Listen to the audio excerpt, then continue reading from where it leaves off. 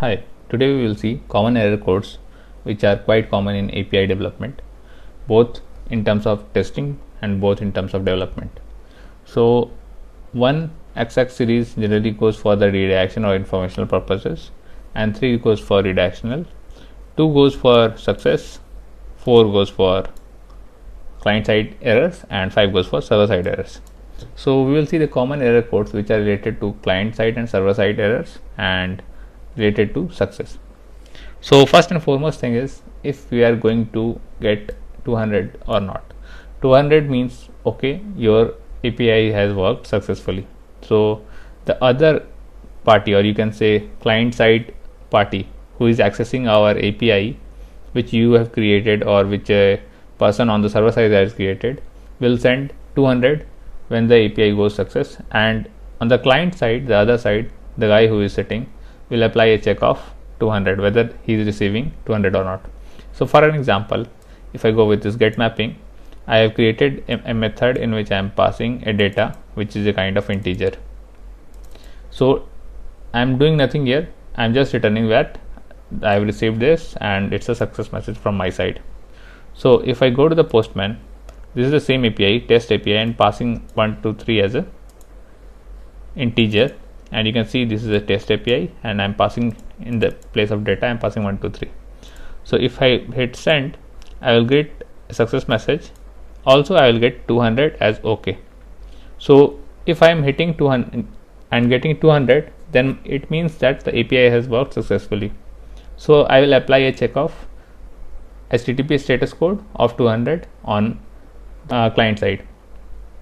So on the basis of that I will do the execution otherwise I will throw an error that whether I am receiving error doing the execution or not.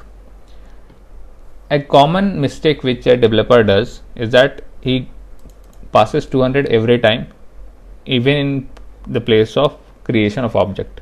So get is used to get the data post mapping is used to create an object but when we are passing any data for creation we should not go with the 200 because it means it's a success only.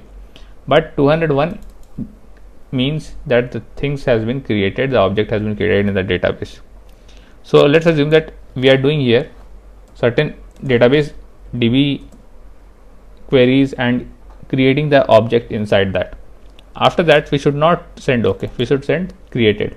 So if i go with the post mapping and pass the data here so like i have passed here as a post. In the post method I am passing this. It will land in my API in which I am creating the object and it will send me 201 201 that is created which is being passed from this API so 200 means success but 201 means created. The object has been created in the post mapping. Now comes the client side. The client who is calling the API if the error comes out to be the 400 series then it means that the API error which is coming is from the person who is calling the API only that is the client side.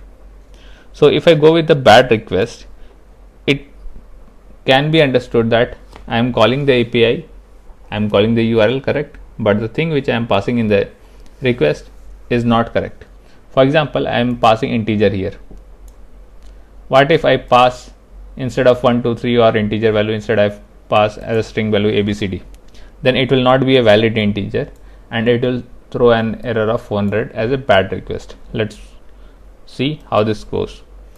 So if i go with the get mapping and in place of 1 to 3 in which i am passing if i go with this part in which i am passing 1 to 3 as an integer let's start passing some data data like abcd since abcd is not an integer our request data is not correct and it will throw an error of bad request.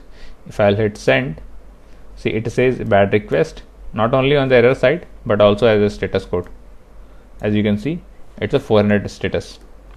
So we should not pass we should pass the correct data wherever i am getting 400 error. What about 404 404 clearly says not found. You might have seen it many places even on the url pages. Wrong url then you will get this 404 not found error. So if i show that let's pass APIS change the URL APIS which is not implemented right now. So it will send me an error of not found not only in the error message but also on the status as 404 as you can see it from here. So this was about not found. What about unsupported media type? Suppose i have implemented an api suppose this is a post mapping and i am implementing an api in which i require a particular type of data. So i will simply write media type dot json and let the json be json value. So it says that it consumes media type as application JSON. Now I need to pass in the post mapping a data which is a kind of JSON, but I will pass not as JSON. Let's put it as a post method and let's pass the data as text only ABCD. So if you go with the header, I'll put not as text, plain text. You will see that I am passing content type as text plain but in the API you will see it is it clearly says that it is being passed as JSON. So there will be a mismatch here. So it will clearly say that it is unsupported media type. Media type it is expecting application JSON. I am passing here as plain text. If I will hit send, it will say 404. Let me change this to the exact API. See, it says unsupported media type. Why it says? Because we are passing text but it was expecting json and it will say in the status as 415 as an unsupported media type. So these are related to 400 series. What about 500 series? 500 series is a common series which generally comes for most of the apis when the api breaks down in the between while execution. For example if i type certain data like int i equals 0 and if I'll say if i equal to equal 0 then throw error. Throw new exception. Runtime exception. So if I'll throw an error here there will be an internal server error which will be happening. So if I which I I can see it clearly happening because I passed i equals 0 and i is being checked as 0 and will throw an runtime exception. Now if i will go and call this api remove this consumes part from here. Now it will clearly land into this post method and i will call the test api with not as abcd but 1 2 3 which i was passing that time. And I will click on send. It will land in the API but it will throw an internal server error of 500 status code which you can see it here happening. It clearly says that something wrong has happened. And what wrong has happened? It has happened that we are throwing some exception or exception. Here i am throwing but let's assume that in real time an exception was coming in the api of the server.